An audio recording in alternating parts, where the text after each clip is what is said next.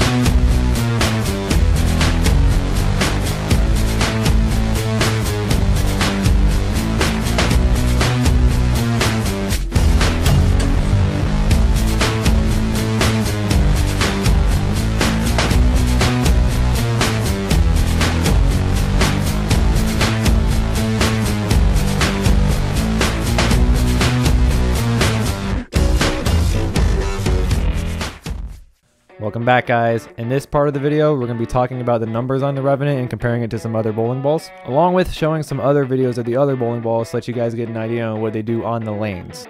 So for those of you who don't know, the Revenant is a remake of the Spectre. Has the same core, has the same shell, has the same numbers.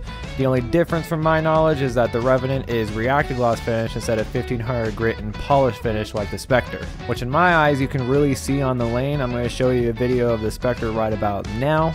And I really want you guys to try and see where this ball reads the lane, so when I play the next video of the Revenant, you can kind of compare it with your own eyes. Now I'm going to zoom in and play one in slow motion for you guys, let you guys get a better idea on what the ball does. And the next video will be the Revenant. So now we have the Revenant here. I stood in the exact same spot as the Spectre to try to give you guys a true comparison on the lane here. As you can see, it read the lane a little later and turned a little sharper. Here's the slow motion of the Revenant, and in my opinion, the Revenant gets a little farther down the lane and turns a little sharper and continues to those pins just a little better than the Spectre. And here's the two videos layered on top of each other just to show you guys how similar the ball motion is and see if you guys can see any differences. All in all, my honest opinion about the Revenant is that it saves a little more energy and it continues and drives off the pin deck a little better thanks to the reactive gloss finish rather than the 1500 grit polish like the Spectre was. So besides the Spectre, the two balls that compare the best to the Revenant, in my opinion, are the Night Road and the Zen.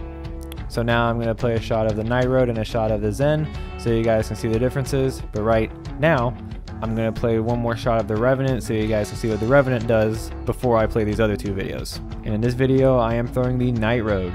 You can see it dig just a little deeper and just a little sooner than the Revenant thanks to that REX shell. And you can see it really drive and continue and save its energy to drive off the pin deck thanks to that high road core that we all know and love. And gotta love that pin carry, man. That Stone 9 getting kicked into concussion protocol, as Randy Pedersen would say. And now I am throwing the Zen. We can see just how far this ball gets down the lane and just how much it likes to unload when it gets to the friction. Unlike the Revenant. For the Revenant being a Pearl symmetrical, it really is slow off the spot for me, and it's real controllable and predictable on all the conditions I've been able to throw it on so far. So, should you get one? For those of you who are bowling a lot of tournaments and have a lot of more high-end bowling balls, this ball would be a good filler between asym and symmetrical pearl balls, but for those of you who bowl league, I would highly recommend this ball as a game two or a high friction house ball. It's just so controllable and predictable off the spot, and I feel like every time I throw the ball, I have a good idea on what it's going to do and what it's going to leave on the pin deck if it leaves anything at all. So we have made it to the end of the video. I have a few more balls to compare it to. I'm going to play them now, but I hope you guys enjoyed this ball review video, and I hope you guys come back for more in the future. But hope you all have a good day. Hope you guys enjoyed. We'll see you guys later.